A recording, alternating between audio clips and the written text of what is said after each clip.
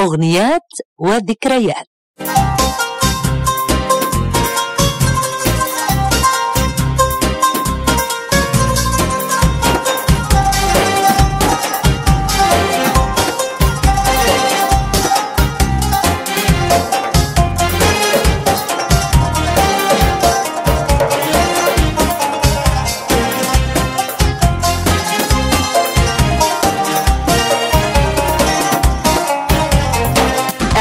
وتقديم أحسان المنذر.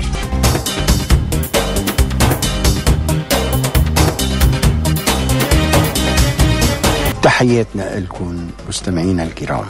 نحن معكم مستمعينا الكرام بحلقة جديدة من أغنيات وذكريات.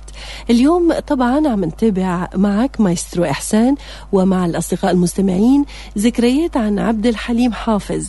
كنا وقفنا عند كونه عازف على آلة الأبوة. والسؤال كيف كان يتصرف على المسرح؟ كان هو أول من تنبه إلى آلة الأورج ال- الشرقي طبعا اللي تشرق. فقدم لنا مجدي الحسيني وبعدين قدم هاني مهنا وبعدين سمير سرور على آلة السكسفون كان يحب يعطي حق لكل موهوب على آلته الموسيقية لأنه كان متواضع وما عنده غرور أنه يكون هو فقط طرزان المسرح. كان كمان عنده إحساس العازف يلي بيلعب دور المرافق للمطرب وبعدين كيف بيتصرف هالعازف إذا عزف منفرد. وكمان بحضور المطرب النجم وهي قليل جدا ويكاد أن يكون نادر. فعامة يلي على المسرح اللي عم يغني هو كل شيء وهو الآمر الناهي وما حدا بياخد بريق نجاحه للحظة واحدة أمام الجمهور. مهم. أستاذ إحسان نحن بنعرف إنك رافقت كتير من النجوم. فهل حصل معك شيء مماثل وأنت وعم تعزف معهم على البيانو؟ نحن عم نحكي عن أغنيات وذكريات وأنا ما بحب أحكي أبدا عن تجارب خاصة في أنا بهالبرنامج ولكن بمذكراتي اللي عم عدها بوعدك إنه رح تلاقي جواب على هالسؤال. آه، بنرجع لعبد الحليم الواثق من نفسه حتى بعد وصلت سولو مثلا لمجدي الحسيني مثل هي اللي سمعناها نبتدي منين الحكاية الأورج اللي ببلش فيها بيقسم تقسيمة كتير حلوة. نعم. وهي اللي لعبها مجدي الحسيني. فبعد ما يصفق الجمهور لمجدي بتلاقي عبد الحليم هو عم بيصفق كمان. كمان. لهالعازف بكل اعجابا لعزفه واحتراما له وبعدين بتلاقيه بيجي دوره ليغني بيقوم بياخد الناس كلها معه برحلة من الإبداع حلو. وطبعا بينسوا إنه شو وين كانوا وين صاروا وين عزف مين قال بفوتوا مع عبد الحليم بفنه؟ لأنه هيدا هو الفن. هيدا يلي خلى عبد الحليم حافظ فنان الشعب وحبيب, وحبيب الناس. باختصار خبرنا كيف ابتدى عبد الحليم حافظ مشواره. يعني رح أقول لك إنه بكارثة. وهيدي. كانت- عبد الحليم حافظ هو كان اسمه عبد الحليم شيبانا شيبانا. نعم. وكان أخوه الكبير إسماعيل شيبانا مطرب معروف يعني مش مطرب عظيم كبير ومشهور ولكن مطرب اسمه معروف بالأغاني الشعبية نعم. وبالإسكندرية وكذا أول مرة طلع عبد الحليم غنى غنيه صافيني مرة آه، الحقيقة ملأت آه، استحسان عند الجمهور. ما حبها الجمهور ما ما حب حب؟ ابدا. صاروا يستيقوا في منهم قالوا إنه آه، رشقوه بالطماطم وهيك وأشياء. يعني هاي أشياء أنا ما بحب أتخيلها إنه تصير لعبد الحليم. ولكن بقول لك هاللقاء الأول مع الجمهور بغنيه صافيني مرة آه نحن سمعنا بالحلقة الماضية صافيني مرة عم يرجع يغنيها بعدين بعد ما نجح. نعم. ولكن هالحفلة هي ما تسجلت هي يلي كانت أغنيته الأولى. اغنيته الأولى وأغنية الشهرة. أغنية أول طلة. نعم. لا بدي أقول لك عن اسكندرية هون بالمناسبة. آه، اسكندرية هي بلد بيطلع منها عباقرة مثل آه، سيد درويش ومثل يوسف شاهين المخرج و بس أصله من زحلة. إيه طبعا ولكن هو ربي باسكندرية. بيعتبروه اسكندراني. آه كمان هيدا عظيم الله يرحمه بالاخراج آه، اسكندرية بتشبه كمان جمهور حلب لأنه هالمدينة كمان آه، بيجي منها عباقرة مثل محمد الدايخ اللي كان قبل صباح فخري وصباح فخري وشادي جميل. هودي كلهم بي- بيغنوا بطريقة كتير كتير حلوة بحلب. نعم. ومرات آه، كانوا يقولوا إذا واحد بده يصير مطرب وينجح لازم يروح يغني بحلب ليعمل إذا نال ميزان. إعجاب الجمهور بحلب حلب. يعني أصبح مطرب. لأنه اللي تعود على الطرب الأصيل ما بيقبل شيء جديد بسهولة. ونحن سبق إنه قلنا إنه ليس هنالك شيئا ناجحا هنالك شيئا جديدا. عبد الحليم كان إجا كتير مفاجئ للناس بأسلوبه. نعم. ومشان هيك آه، كانت هالكارثة. يعني بال- بالفعل شو هو سبب نجاحه شو عمل حتى نجح؟ كيف كيف تصرف آه، كي- كيف اشتغل على أغنياته ابدا لملم جراحه وانسحب بهدوء. بعد أغنية صفيني مرة. إيه طبعا لأنه هالفشل هيدا ما كان له وحده كان موجه كمان لمحمد محمد الموجي. الملحن. الملحن اللي كان طالع جديد وكان عم يعطي كمان. وطبعا هيدا كان حافز لمعاودة خوض معركة النجاح. فراح على الإذاعة وكان مدير الإذاعة اسمه حافظ عبد الوهاب. طبعا أنا نسيت أقول لك أنه هو لما طلع كان اسمه عبد الحليم شيبانة نعم. وفكروا الناس إنه هو رح يغني مثل إسماعيل شيبانه هالأغاني الشعبية اللي بترقص. نعم. قام طلع لهم بغنية مودرن فيها ساكسفون وفيها توزيع غربي. فلذلك آه، لقوه مختلف. فحافظ عبد الوهاب مدير الإذاعة أعجب بصوته وقال له آه، يمكن أنت شوي لازم تغير اسمك عن خيك لأنه تفاج- فاجأت الجمهور. وقام عبد الحليم تيمنا بحافظ اسمه آه، عبد حافظ الوهاب عبد الوهاب. سمى نفسه عبد الحليم حافظ, حافظ نعم. و... وبلش ياخذ ألحان من آه، كمال الطويل منير ومنير مراد. إلى جانب آه، محمد الموجي يوم في شهر في سنة. تهدى الجراح وتنام وعمر جرحي أنا. أطول من الأيام.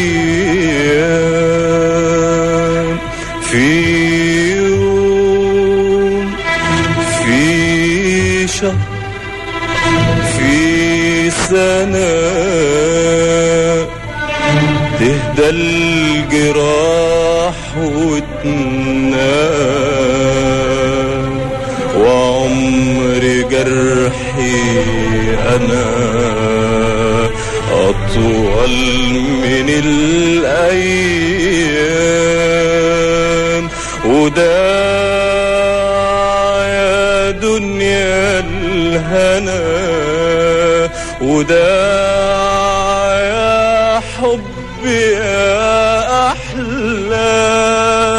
ده عمري جرحي أنا أنا أطول من الأيام.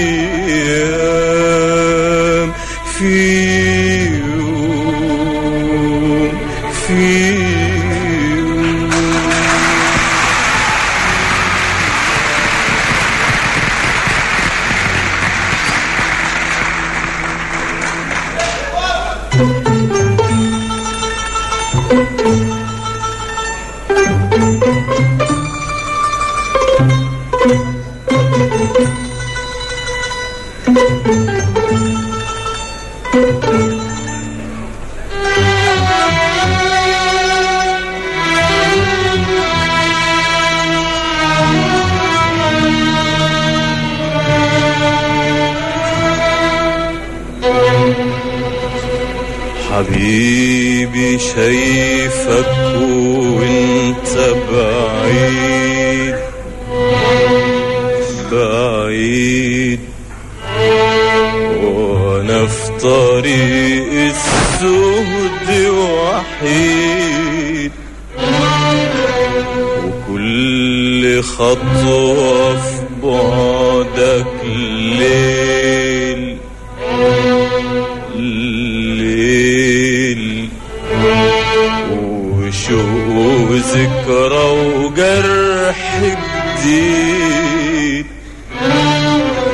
حبيبي شايفك وانت بعيد.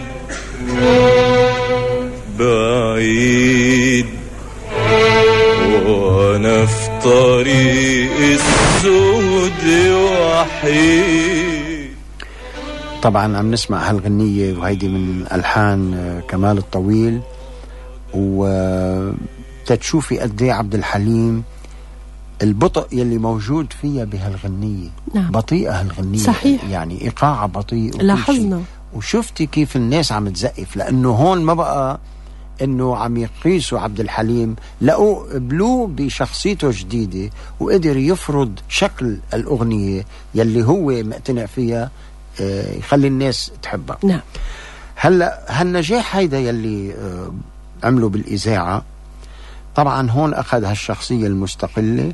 ولفت نظر المنتجين قاموا اتصلوا بيه وقالوا له بدك تعمل أفلام وكان أول فيلم هو فيلم لحن الوفاء مع شادية نعم. هون كمان جند نفس الملحنين العظماء كمال الطويل عطاه غنية على قد الشوق اللي في عيوني يا جميل. سلم إيه وك وكذلك في دويتو مشهور اللي هو مع شادية بيقول لها تعالي أقول لك حتقول مم. لازم أقول لي إلى آخره. كمان هي من ألحان منير مراد. منير مراد. حكيت لنا مايسترو إحسان عن بداية عبد الحليم حافظ بصافيني مرة وألحان محمد الموجي وكمال الطويل ومنير مراد. بس خبرنا كيف كان تعاونه مع موسيقار الأجيال عبد الوهاب؟ آه عبد الوهاب آه كان بالأول متفرج يعني عم بيشوف ظاهرة عبد الحليم وهي طلعت بالخمسينات ظاهرة عبد الحليم. نعم. ولحن الوفاء كان بفتكر سنة ال 55 57 آه بهالفترة هيدي عبد الوهاب المطرب يلي كان يطلع على الجمهور ويغني مع عوده آه كان عم يحس إنه هو كمطرب بدأ آه يخف تخف همته كمطرب. يعني قال لك أنا بعد هالاسم هيدا وبعد إنه صوتي قارب آه، الستينات وهيك إنه أنا بدي ريح حالي شوي خليني أعطي بالألحان الغناء. آه، إيه. لحن لأصوات أخرى أيوه يعني بالغناء خلي غيري يغني نعم. وكان طبعا عم بدور على مين هيك يلاقي فيه شخصية آه، عبد الوهاب وروحه لحتى يمنحه هالاستمرارية وبتعرفي هيدي عند الفنان دايما بيحاول ي- مرات من أنانيته آه، إنه ما بده يخلص هو لما يكبر بصير بده يزرع هالشيء باولاده آه، إنه يضلوا يستمروا بالمهنة. نعم. يعني هذا ال- نعم. دايما حب الحياة وحب الاستمرارية. يقال إنه أغنية كل ده كان ليه كانت آخر أغنية غناها على المسرح؟ عبد الحليم عبد حافظ. الوهاب. آه، عبد الوهاب عبد, عبد الوهاب. الوهاب. نعم. آه، كان بال 57 غنى كل ده كان ليه؟ طبعا هو سجلها بالإذاعة ولكن بقول لك إنه أكثر من نص ساعة آه، يمكن 40 دقيقة دامت كل ده كان ليه بهالقصة وكان كتير عبد الوهاب مجيد فيها.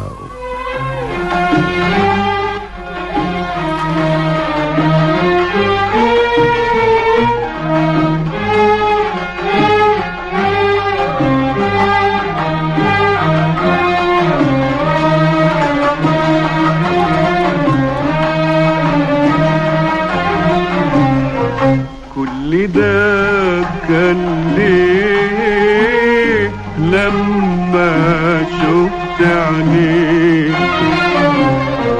كل ده كان ليه لما شفت عينيك حن قلبي ليه؟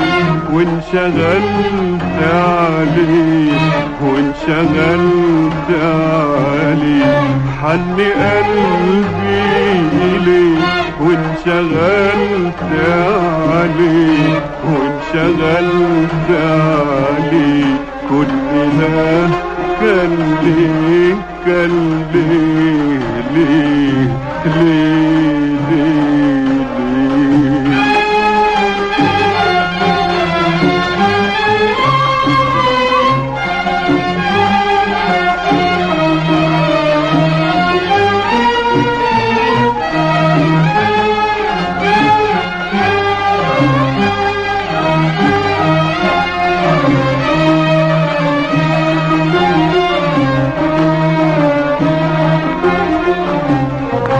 لي كام كلمة يشبهوا النسمة في ليالي الصيف.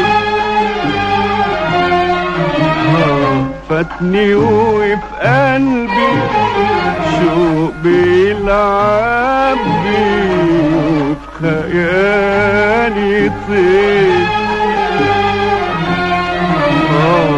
فاتني وفي قلبي شوق بيلعب بي خياله طيف طبعا نحن عم نسمع التسجيل يلي سجله عبد الوهاب بالإذاعة. كل ده كان ليه إيه مش المباشر يلي بالحفلة. شو أهم ألحان أعطاها عبد الوهاب لعبد الحليم حافظ؟ أعطاه كتير ألحان حلوة. طبعا نبتدي منين الحكاية؟ توبة عقبالك يوم ميلادك. آه كتير يعني رح نحكي عنهم نحن بالحلقة آه عبد الوهاب لما لقى هالشباب الموجي ومنير مراد وكمال الطويل عم يتدافعوا كلهم ليعطوا عبد الحليم أجمل ألحان هو قال نحن هنا. يعني إحنا هنا. يعني إحنا على الطريقة هنا. المصرية إيه نصوم لا نحن بنقول.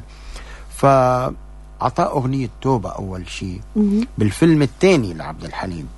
وغنية توبة كلنا بنعرف. توبة م- م- توبة. يعني فيها نطنطة إنه أنا كمان فيني أعمل ألحان رائسة آه. وشبابية وكذا. آه آه بعدين كمان عطاه أهواك وأتمنى لو أنساك. آه شو كمان أجمل أغنية. رائعة بأفلام يا تانية. ريت يا ريت نقدر نسمع أهواك وأتمنى لو أنساك.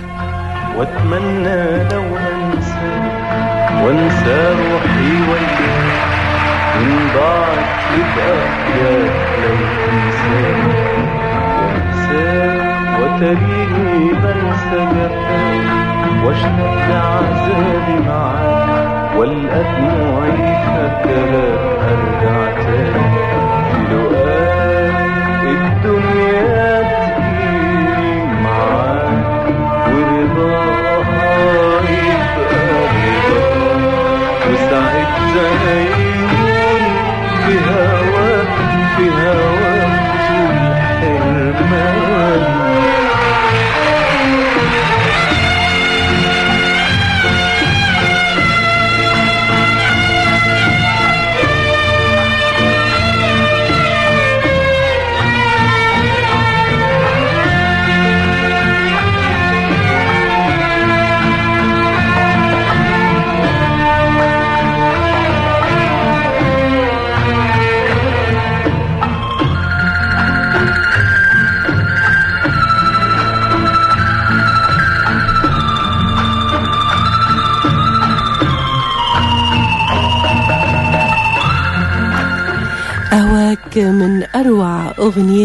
عبد الحليم حافظ وبترجع معها ذكريات حلوة حلوة.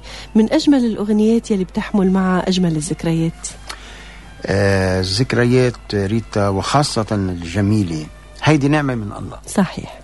لأنه اللحظات الحلوة لازم نستعيدها. دائما. وهي لأن ما بتجي دائما. مهم. وكل ما أحسسنا بجمال تلك اللحظات كل ما وجدنا أنه نحن سعداء. نعم. آه بحياتنا والأغاني الجميلة وحدها هي اللي بتاخدنا برحلات الماضي الجميل. كم فيلم مثل وغنى عبد الحليم حافظ؟ 16 فيلم.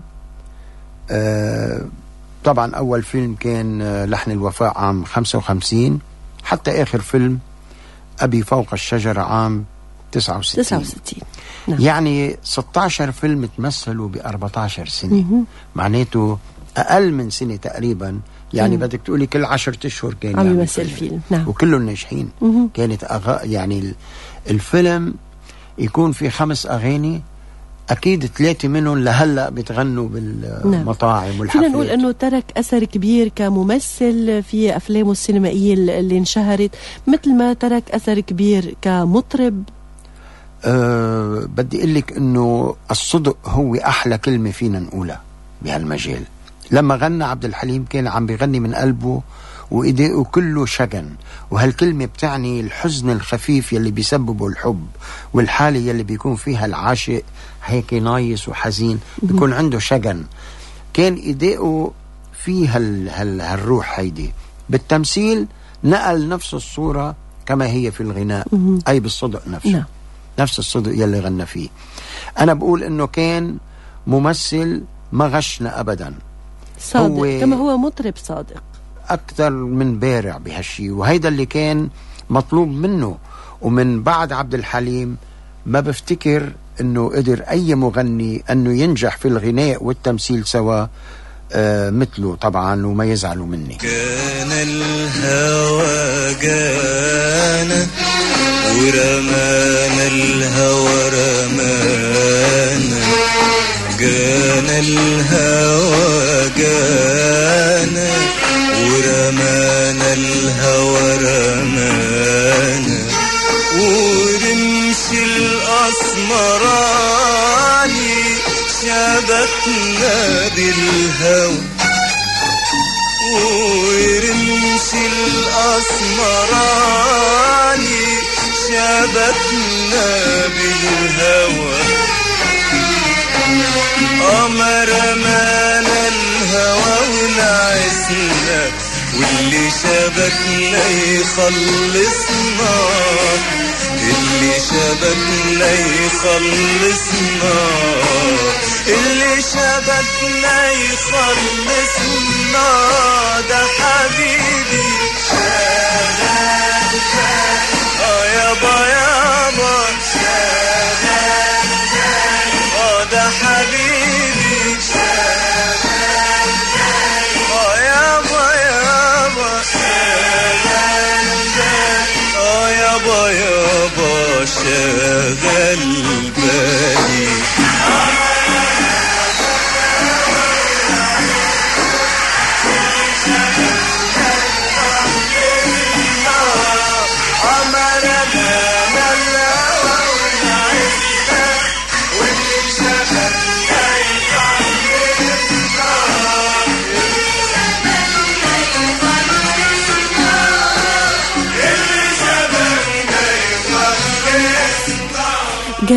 الهوى هالأغنية الحلوة لعبد الحليم حافظ غنيها بفيلم أبي فوق الشجرة.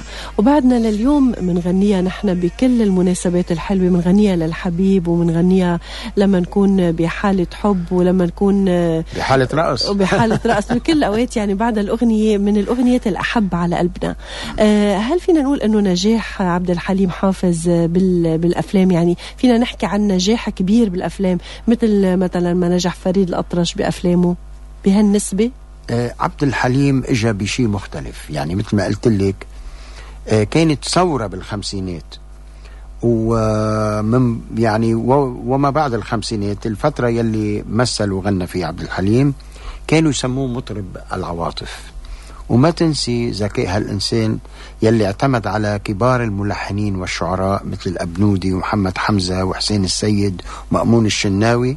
لأنه إذا أخذت أي أغنية لعبد الحليم بتلاقي فيها كل مقومات النجاح نعم. آه، من حيث التركيب والبناء. وكان هو يقدمها بطريقته باسلوبه يلي امتاز ونجح فيه. بي- بيكفي إنه نقول إنه فيلم أبي فوق الشجرة استمر عرضه لأكثر من سنة. هل بتعتقد أنه بنهاية هالحلقة رح نقدر نعطي عبد الحليم حافظ حقه؟ ما بفتكر. أنا بدي أحكي أكثر عن هالمطرب يلي يلي ما حدا بيقدر ينساه ابدا لسبب بسيط.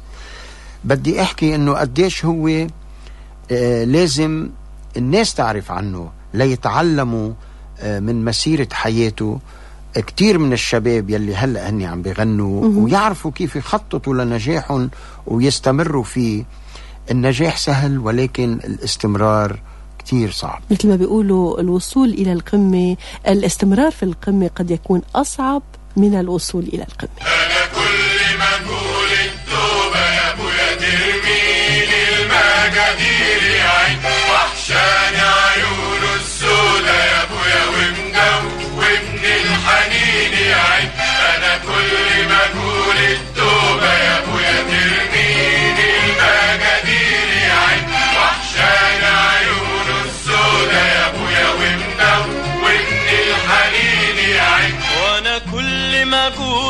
التوبة يا أبويا ترميني المجادير يا عين. ترميني المجادير يا عين. وحشاني عيونه السودا يا أبويا ومدوبني الحنين يا عيني ومدوبني الحنين يا عيني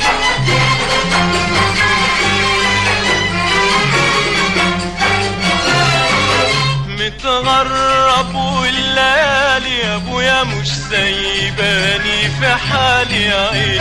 متغرب والليالي يا ابويا مش سايباني في حالي يا عيني. والرمش اللي مجرحني يا أبويا ضيعني وأنا كان مالي يا عيني. الرمش اللي مجرحني يا أبويا ضيعني وأنا كان مالي يا عيني. ولا كل الماء مع هالأغنية الجميلة وأنا كل ما أقول التوبة لعبد الحليم حافظ بنوصل لنهاية مشوارنا ببرنامج أغنيات وذكريات. الموعد الأسبوع الجاي مع حلقة جديدة كمان عن العندليب الأسمر عبد الحليم حافظ. مع تحيات معد هذا البرنامج المايسترو أحسان المنذر من ريتا نجيم وشكر لزميل حسين شعيتو. إلى اللقاء.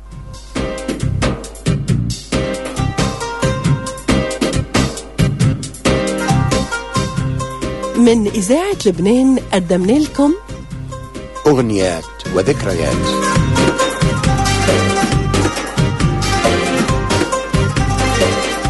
مع تحيات المخرج موريس مصلي.